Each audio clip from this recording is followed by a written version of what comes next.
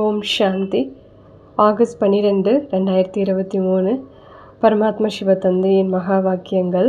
தந்தை கூறுகின்றார் இனிமையான குழந்தைகளே உங்களோட பழைய அறுபத்தி மூணு பிரிவுகளின் பாவ கணக்கை அழிக்க மற்றும் புதிய இருபத்தி ஓரு பிரிவுகளுக்கான புண்ணிய கணக்கை பரமாத்மாவின் நினைவில் இருந்து இப்போது நீங்கள் சேமித்து கொண்டிருக்கின்றீர்கள் என்கின்றார். இந்த ஷிவ் பாபாவின் யோகத்தின் மூலம்தான் உங்களது பாவங்கள் எரிந்து சாம்பலாகின்றது மற்றும் இருபத்தி ஓரு பிறவிகளின் புண்ணிய கணக்கின் பிராப்தி இப்பொழுதுதான் உருவாகி கொண்டிருக்கின்றது என்கின்றார். சிவபாபா கூறுகின்றார் குழந்தைகளே அந்தர்முகி உள்நோக்கு முகமுடையவராக ஆகுங்கள். இந்த வாயினால் அதிகமாக எதுவும் பேசாதீர்கள்.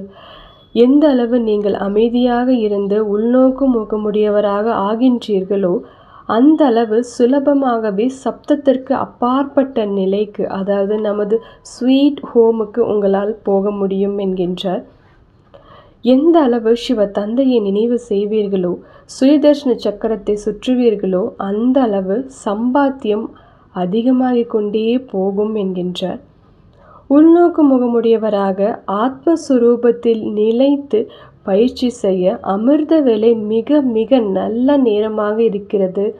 அந்த அமிர்த வேலையை ஒரு நாளும் தவறவிடக்கூடாது என்கின்றார். கலியுக கடைசிக்கு கார் இருட்டு என்றும் சத்தியுக ஆரம்பத்திற்கு பட்ட பகல் என்றும் கூறப்படுகின்றது.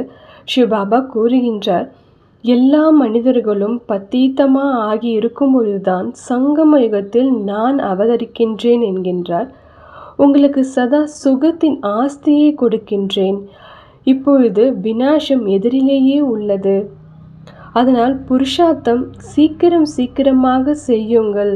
முயற்சி செய்யவில்லை என்றால் கடைசியில் ஐயோ ஐயோ என்று கதறுவீர்கள்.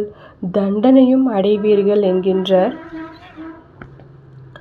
உலகிலுள்ள ஒவ்வொரு பிராமண ஆத்மாக்கும் ஏதாவது விசேஷ தன்மை கிடைத்துள்ளது என்கின்றார்.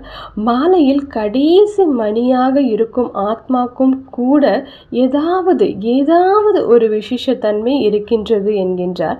பரமாத்மா கூறுகின்றார் பிராமண பிறவியின் பாக்கியத்தின் விசேஷ தன்மையை உணர்ந்து அதை காரியத்தில் பயன்படுத்துங்கள்.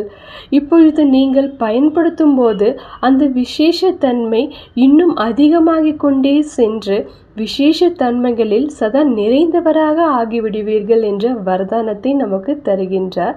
நன்றி Baba. Love you so much Baba. Om Shanti.